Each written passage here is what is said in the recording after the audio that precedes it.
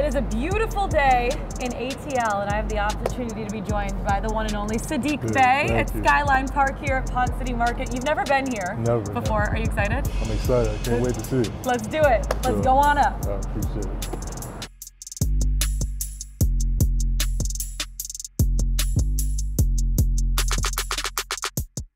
So this is Skyline Park. Gonna play some putt putt. Let's do it. Let's do it. What color? I'll let you choose first. A green. Gotta man. stick with the green vibe. Joker, man. Yes, Best villain of all time. That's why I got. That's why, that's why green my favorite. I like it. That's what you have in your hair Yeah, too. that's exactly why. I like that's it. exactly why. I like it. There we go. Hole in one.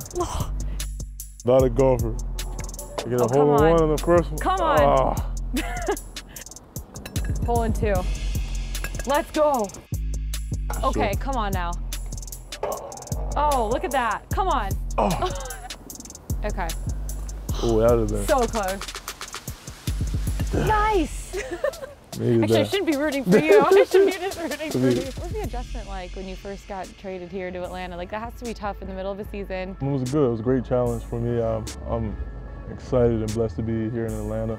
I was welcomed with open arms from staff, the coaches, the players. You know, I feel like I'm, you know, just getting more comfortable each and every day. So I that's the most I can, you know, ask for. Now it's time for something this guy knows how to do really well. Yeah. Play basketball. Ooh, okay. Come on I now. We go underhand. Let's go. One one. Yes. Two two. Or one two.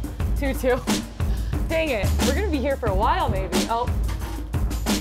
Come on. Oh, Are you missing on purpose? I want, I want the pressure shot. For the win. Oh! That's needed. 2-0 Saddiq on, on the Ponce City roof right now. You're raking right now. What has the Quin Snyder era been like for you? He's been here for a few weeks now, kind of starting to get adjusted. I know the big word that a lot of people have said is his attention to details. Have you seen that too? Yeah, for sure. He's, uh, you know, kind of reminds me like, you know, how my coach was, Coach Wright at Nova. He mm -hmm. was mm-hmm. very attention to detail, very intense, passionate about winning. Um, I feel like Quin is doing a great job of doing that, trying to instill that, you know, to this team. This is where the real competition heats up. You ready? Let's do it. Let's do it. Let's do it. Skee-Ball. Let's go. Oh, you almost hit the 100.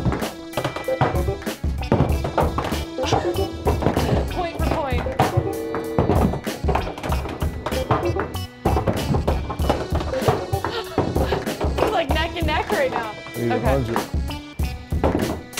Oh. oh, now he went for game. He went for game. He almost had it. Hey. Good game. Yeah, Finally won one. Thank God.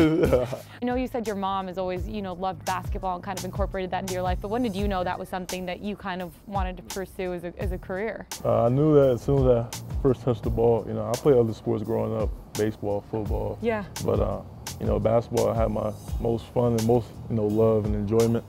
You know, I knew from a young age that that's this is what I wanted to do. So let's thank God every day I'm, uh, you know, being able to have this opportunity. Well, we're so excited to have you here in Atlanta. I so appreciate you taking the time to be here at Skyline Park. Your first time seeing Ponce City Market, Yeah, so right, you're going to be back Yeah. I'll be back for sure, for sure.